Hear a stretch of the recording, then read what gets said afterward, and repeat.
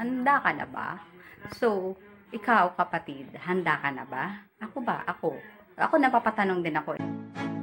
Let us talk and grow. Welcome to PG Finaway. Hello guys. So, today's video, ipapakita ko sa inyo yung mga ah, trip-trip kong ah, vlog ng mga nakaraang araw na hindi ko na upload. So, mali- maliit lang to na video and ah, enjoy watching and syempre, Sunday ngayon. So, ah Blessed Sunday, S-O-N-D-A-Y. Blessed Sunday sa ating lahat mga kapatid and patuloy lang tayong magtiwala sa ating Panginoong Jesus sapagkat siya ang higit na makapangyarihan sa lahat. Enjoy watching guys and uh, sa mga hindi pa nakaka-subscribe sa YouTube channel natin, PG Farnaway, uh, please like, subscribe, and hit the notification bell for more updates kasi next week talaga, totoo na talaga to, i mag-feature na tayo ng mga stories. Medyo naging busy lang guys, kaya hindi ko agad na, uh, pina-finalize ko pa din kasi, yung mga, ilal, may mga naka-line up na din kasi mga storya.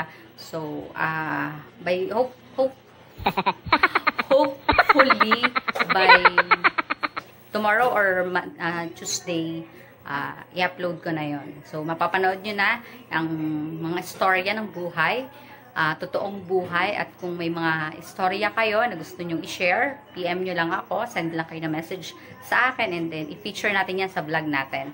And uh, welcome ang lahat uh, sa mga uh, testimonies, sa mga inspiring stories natin dyan. So, uh, lang guys. Uh, keep uh, strong. Be strong and courageous. Lagi ko yung sinasabi dun sa end ng video ko. And uh, uh, stay connected with Jesus Christ kung nakakakonekta tayo sa wifi, mas sigit na mas kukonekta tayo sa ating Panginoong Jesus na sa Kanya nagmumula ang ating lakas, ang ating sigla, ang ating, uh, ba yung pagmulat ng ating mga mata, di ba? So, uh, sa Kanya tayo magtitiwala, sa Kanya tayo ay kukuha ng lakas, sa Kanya tayo, uh, kaka, uh, di, uh, siya yung ating kakampi, And uh, sa kanya tayo uh, lagi kakanlong, 'di ba? Siya ang kanlungan natin sa lahat ng ating uh, uh, tinaranas sa araw-araw, 'di ba? Iba't iba yung ating pinagdadaanan sa araw-araw, 'di ba? Merong araw na masaya, may araw na malungkot, may araw naman na smooth lang. So ayun lang guys, uh, lagi tayong magtiwala sa kanya. And uh, lagi nating isipin na si Jesus ang pinakamakapangyarihan sa lahat. So, Hello guys, so today, punta kami ng Ayala. So, trip lang. Ayan na, uh, say hi! Vlog na Hi to my vlog. So, this is, uh, he is my uh, kuya. My handsome kuya. So, yan. Uh, so, I just wanna greet Tita Lala and Tita Rowella. Happy blessed uh, wedding anniversary. You, you will greet also? You? Hi. You, you will greet also? No, no, no. Nothing. Nothing. Okay. So, uh, yun lang guys.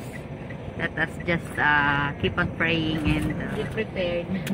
uh, ayun. Hello guys. Yan. See? Ang aming baling huyan. Ang lawak-lawak na. Oo. ba? Diba? Oo, madami nang makukuha. Sa previous vlog ko, 'di ba, ang liliit pa. So ngayon, 'di ba, after one at uh, two months. Uh, bye. Hello guys. Ayan, so napanood niyo naman yung video ko, ba? And kung narinig niyo yung uh, sinabi ng ate ko kasi ba sinabi ko is uh, keep on praying and then sinabi niya be pre be, be prepared. So prepared ka na ba, ba? Prepared ka na ba? Handa ka na ba kung kapag dumating si ang Panginoong Jesus, ang, Pang ang ating Panginoong Diyos? Uh, handa ka na ba? Diba naririnig din natin yan sa isang uh, sa isang palabas, 'di ba? Handa ka na ba? So, ikaw kapatid, handa ka na ba? Ako ba? Ako. Ako napapatanong din ako eh, handa na ba, handa na nga ba ako sa pagdating ng ng, ng ating Panginoon? Kasi 'di ba, ang dami na ding mga signs, 'di ba, mga senyales na malapit na siyang dumating na malapit na yung kanyang paghuhukom sa ating lahat.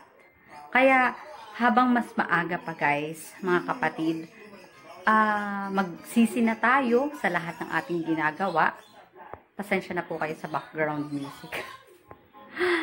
Ay, ibon. So, ibon ng kapitbahay, hindi ibon namin. So, ayun, ah, uh, 'di ba? Malapit na dumating ang ating Panginoon. At kung ikaw ay nagmumukmuk lang diyan, 'di ba?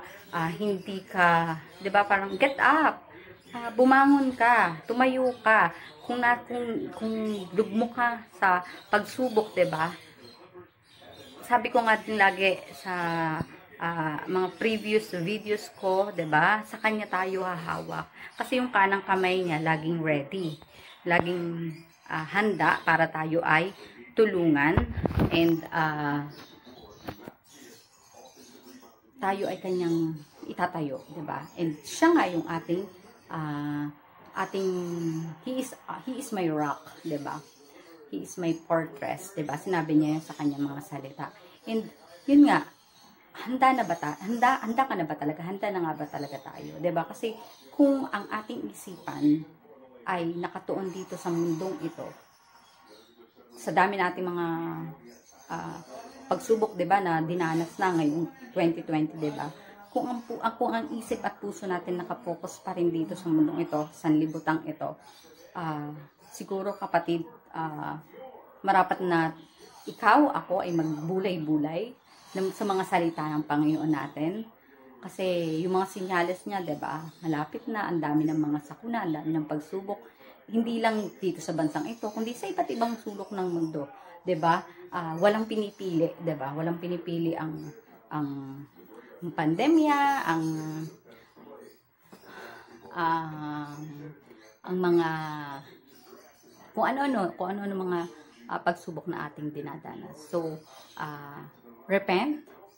Let us repent sa lahat ng ating ginagawa. And uh, magsisi and kung may mga kapatid ka pa na hindi mo pinapatawad, di ba, nandiyan pa rin yung, yung galit, yung puot, i-surrender po natin yan sa ating Panginoon and matatagpuan natin yung peace sa Kanya.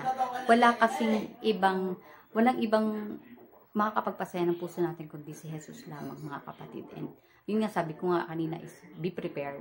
Sabi din ng ate ko, be prepared. Keep on praying and be prepared, 'di ba? Mag, maigi na yung preparado tayo, handa tayo sa pagdating ng, ng ating Panginoong Jesus. And kung hindi mo pa natatanggap si Jesus Kristo, kapatid, tanggapin mo siya na siya yung ating Lord and uh, our Savior. Siya yung nagligtas sa atin sa krus ng Kalbaryo para sa ating mga kasalanan. ba? Kaya nga ibinigay siya sa atin ng ating Panginoon uh, Diyos para tayo imaligtas. ba? Siya yung nagbata ng lahat ng ng ng, ng hirap, ba?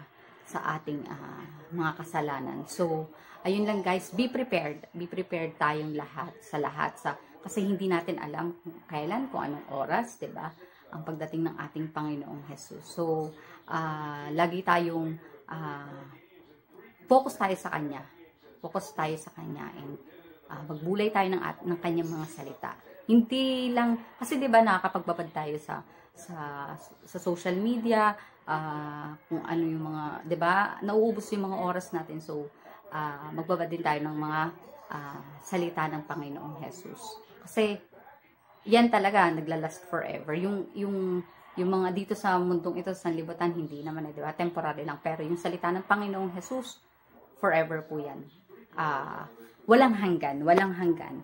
And hindi siya uh, maglalaho. Hindi siya maglalaho. Ang lahat maglalaho, pero ang salita ng Panginoong Jesus hindi. So, ayun lang guys. Stay connected with Jesus Christ. God bless!